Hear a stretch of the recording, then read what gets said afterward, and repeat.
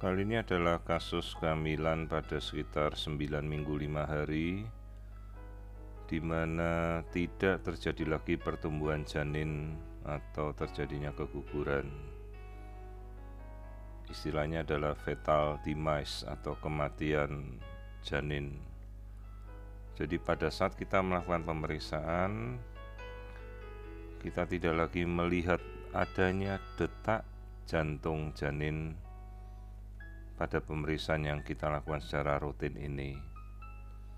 Di sini kita bisa melihat aliran darah pada daerah rahim yang menjelaskan sebuah aktivitas kehidupan dari detak jantung nadi si ibu. Namun pada saat kita mengarahkan pada area janin, tidak ada lagi aliran darah Doppler ataupun melihat adanya aktivitas detak jantung janin.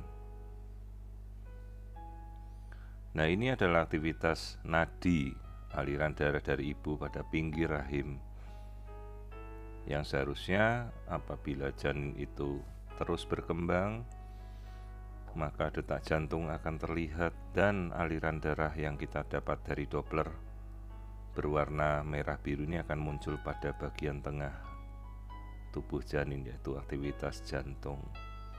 Di sini kita tidak melihat lagi adanya aktivitas tersebut.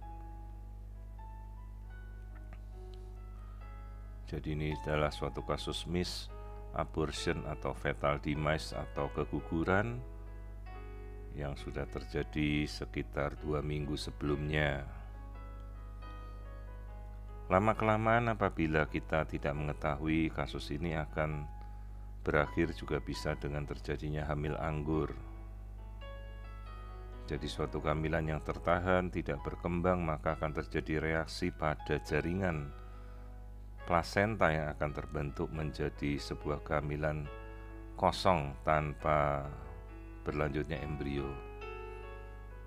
Jadi kira-kira janin ini sudah berhenti dua minggu yang lalu dari pertumbuhannya sekarang.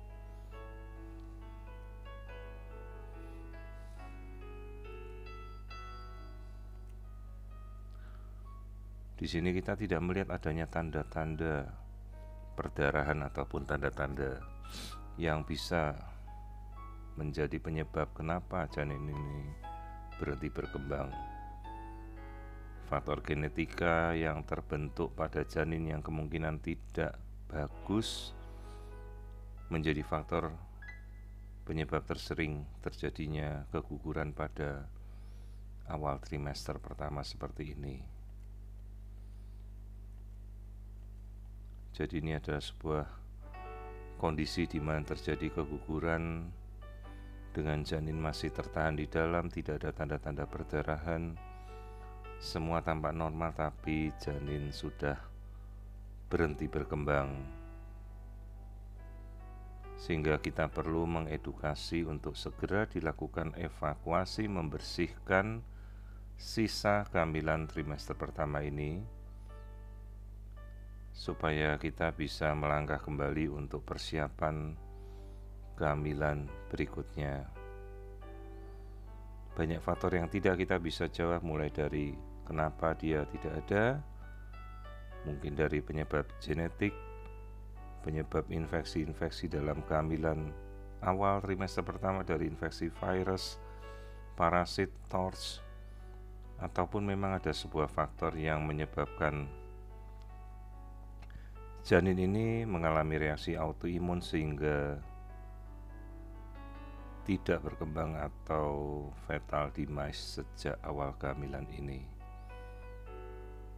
Jadi kita perlu mengevakuasi dan membersihkan untuk mempersiapkan pada kehamilan berikutnya sesegera mungkin.